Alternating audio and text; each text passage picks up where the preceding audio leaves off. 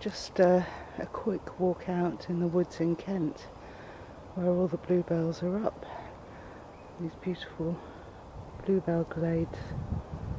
Really pretty. Definitely spring. Blackthorn's out. There we go.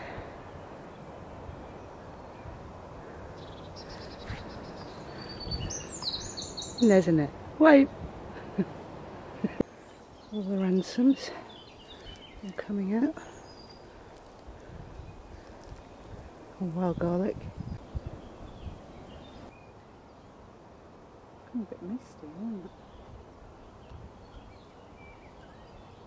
That'll burn off as the day goes on.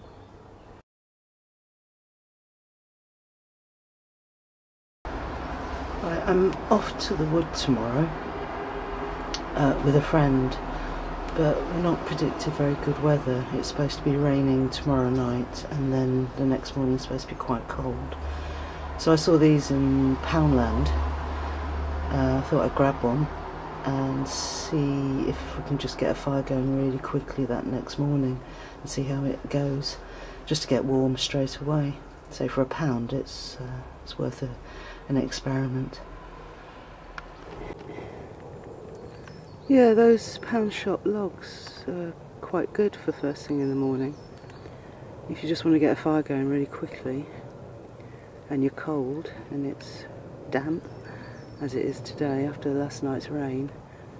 Uh, yeah, and now I've just some, put some more logs in, the damp logs that got rained on, but um, it seems to be keeping the fire going, so that's really good. I like that. I might get a couple more of those, just for sort of emergencies or first thing in the morning when you're desperate to get a fire. Big tent. Very big tent. I had a bit of a brick disaster last night. I don't normally build such a big fire and one of the bricks or two of the bricks decided to um, split and spit so that was a bit uh, a bit you know a fail really but the other bricks I'm using seem fine so but I've got a washing machine drum so I'm thinking of trying to build a fire pit out of a washing machine drum and it can be put on legs so I don't have to worry about burning the ground. So that's my next little project over the next couple of days if I can get it sorted. So I'm using the little Trunite charger to charge my friend's phone up. Um, these are great, they're just tiny. And they take the big lithium batteries which goes in the Trunite head torch as well. So they're really quite handy having a big sort of power source. There's Mel trying to dry her tent.